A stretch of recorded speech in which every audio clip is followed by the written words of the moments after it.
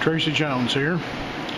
And now we are going to show you how to remove a tool from the spindle of the Haas Super Mini Mill 2. Once the machine has been started and powered up, you're going to go to the controller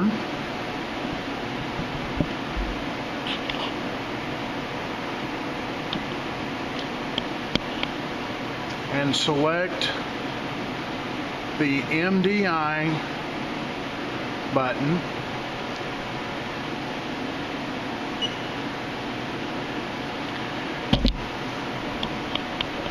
The screen will then come up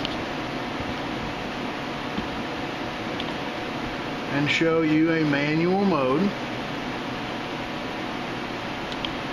At this point we will be able to remove the tool from the spindle. You'll want to hold on to the tool itself and to the, the uh, tool holder, not the tool. And on top of the spindle casing is a button, which is the tool release button. So we will now take a hold of the tool and remove this tool from the spindle.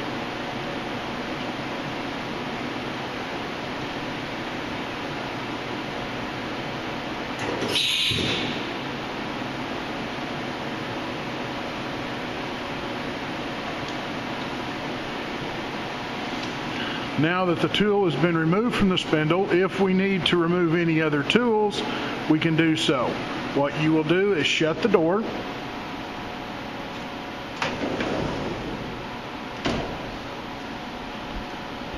Come to the controller.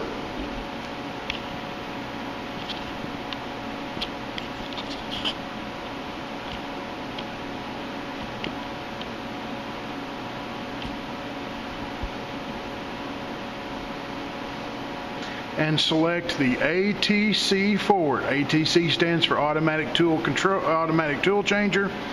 FWD is forward. ATC REV is reverse. We're going to go forward to the next tool.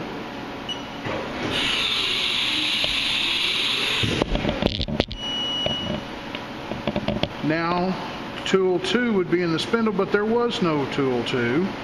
So if we need to go to the next one, there is a tool in tool three, so we will advance it again. So I'm going to press the ATC forward button and you can see the tool change.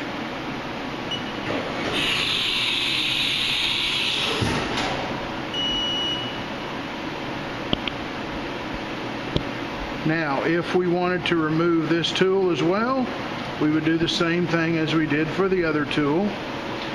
We will open the door, hold the tool, and press the tool release button.